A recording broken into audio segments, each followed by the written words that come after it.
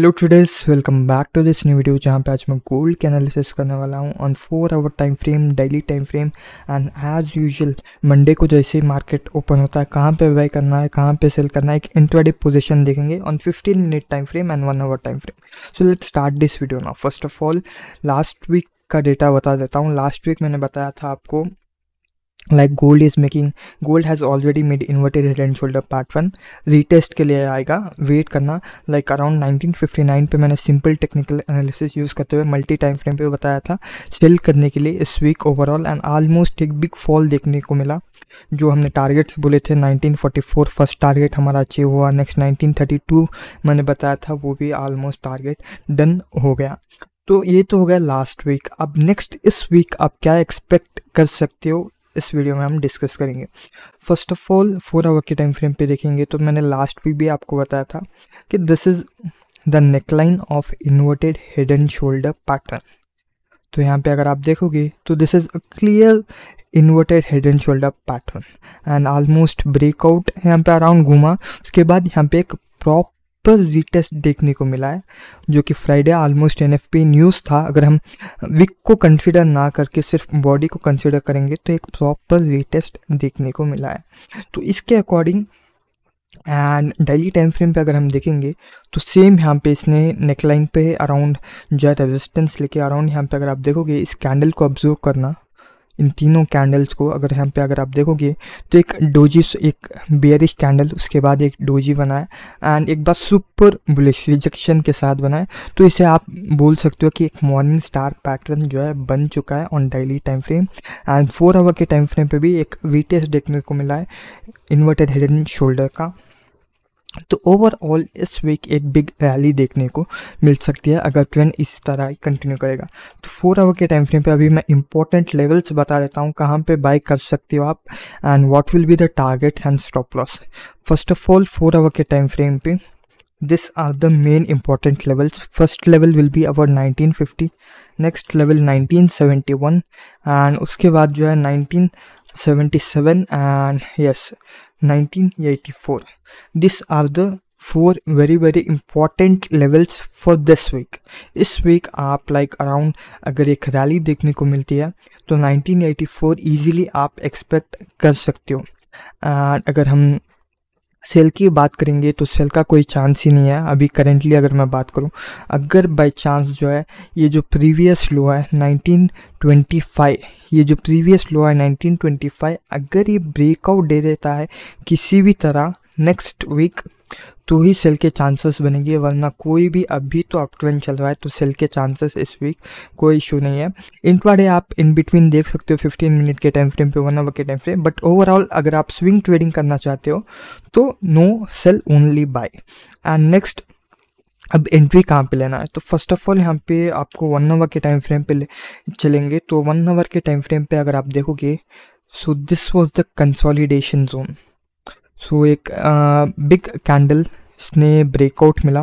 उसके बाद अगर आप 15 मिनट के टाइम फ्रेम पे ले चलता हूँ एंड अगर आप 15 मिनट के टाइम फ्रेम पे देखोगे तो एक प्रॉपर रीटेस्ट भी देखने को मिला है। Just minute now you can see on 15 minute के टाइम फ्रेम पे बता रहा हूँ।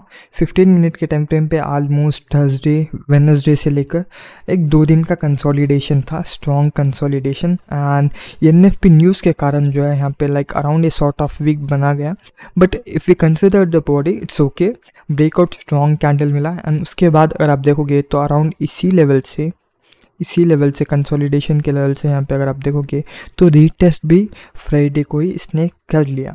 तो ऑलमोस्ट मैंने टेलीग्राम पे भी एक गोल्ड बाय का सिग्नल आपको बताया था 1932 but because of N F P news almost 30 50 40 pips profit हुआ। उसके बाद एन एफ़ पी न्यूज़ के कारण यहाँ पे अराउंड एस एल मार के, उसके बाद फिर से मार्केट घूम गया। एंड ऑलमोस्ट हमारा पहला टारगेट भी अचीव हो गया, दूसरा टारगेट भी अचीव हो गया। बट उससे पहले एन एफ़ पी न्यूज़ के कारण एस एल हिट हो गया। बट नो इश्यूज़ अगर आपने लॉस भी किया है तो विल रिकवर दिस वीक तो आप टेलीग्राम चैनल भी ज्वाइन कर सकते हो। अगर कोई नया यूज़र है तो आप टेलीग्राम चैनल ज्वाइन कर लेना। जो भी मैं ट्रेड्स लेता हूँ, जो भी अपडेट्स रिगार्डिंग फॉरेक्स ट्रेडिंग वो मैं टेलीग्राम पे बता देता हूँ। तो आप बात करते हैं एंट्री की। तो कंसोलिडेशन देखने को मिला strong breakout and we test तो ओवरऑल अगर हम बोलेंगे तो इंडोडे पोजिशन के लिए this is a strong buying zone okay तो अब नेक्स्ट जब मंडे को जो है प्राइस या फिर ये जो हाई बनाया है इसने ये ब्रेकआउट करेगा तो आप एंट्री ले सकते हो। इसका जो हाई है लाइक अराउंड 1946 अगर ये ब्रेकआउट करेगा तो आप एंट्री ले सकते हो। मंडे के लिए एक इंट्राडे पोजीशन देख सकते हो। या फिर अगर फिर से यहाँ पे रिटेस्ट करने के लिए आएगा तो नेक्स्ट आप एक इंट्राडे पोजीशन बना सकते हो for Monday so hope you guys understood overall एक सिंपल टेक्निकल एनालिसिस था। एंड अगर कोई स्विंग ट्रेडिंग करा है तो आप डेली टाइम फ्रेम पे जाके उसके अकॉर्डिंग जो है ट्रेड ले सकते हो। Daily time frame just for to see the S and target almost swing trading लेते हो आप इस मंथ के लिए तो ऑलमोस्ट आप, ये जो टारगेट है 2010 ये वाला टारगेट भी आप एक्सपेक्ट कर सकते हो इस मंथ तो डेली टाइम फ्रेम पे स्विंग ट्रेडिंग के लिए टारगेट स्टॉप लॉस बता देता हूँ। एंट्री लाइक अराउंड मंडे को जो है कैंडल बुलिश क्लोज होती है।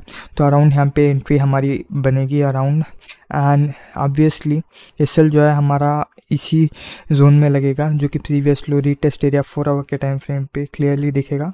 फोर आवर के टाइम फ्रेम पर अराउंड इसी लो का एस लगाएँगे। एंड टारगेट्स जो है मैंने बता दिया इंपॉर्टेंट लेवल्स आप ट्वेल कर सकते हो उसके अकॉर्डिंग आप जा सकते हो स्विंग ट्रेडिंग के लिए। डेली टाइम फ्रेम पे जस्ट कंफर्मेशन के लिए देख लेना डेली टाइम फ्रेम पे लाइक पोजीशन ट्रेडर्स आप देख सकते हो। बट स्विंग ट्रेडिंग अगर करो तो जस्ट एज अ कन्फर्मेशन आप देख सकते हो, कोई इशू नहीं है। तो होप यू गाइज़ अंडरस्टूड अभी वन मोर कन्फर्मेशन मैं आपको बता देता हूँ। फोर आवर के टाइम फ्रेम पे फिबो प्लॉट करते हैं। ये हमारा लो है 1945 एंड ये हमारा हाई है। तो अगर हम देखेंगे इसको प्लॉट करते हुए तो लाइक अराउंड आप देखो कहाँ से इसने अगर हम सिर्फ़ और सिर्फ़ बॉडी को कंसिडर करेंगे सिर्फ़ और सिर्फ़ बॉडी को कंसिडर करेंगे तो अराउंड जो है नाइन थर्टी एट इस रेशियो से यहाँ पे एक स्ट्रॉन्ग रिजेक्शन देखने को मिला है। तो ये भी आप कंफर्मेशन एक ले सकते हो। सो so, ओवरऑल आपको समझ में आ गया होगा कहाँ पे बाय करना है कहाँ पे सेल करना है। Each and everything so thanks for watching the video guys once again अगर आप न्यू हो चैनल के लिए तो आप सब्सक्राइब कर लेना डेली मैं gold analysis video each and everything weekly analysis भी अपलोड कर देता हूँ नेक्स्ट कुछ प्लान्स हैं जो कि फर्दर बता दिया जाएगा कुछ uh, को इंपॉर्टेंट गिव अवेज कुछ आने वाला है तो वो मैं टेलीग्राम पे अपडेट कर दूँगा so once again thanks for watching the video guys bye bye take care see in the next video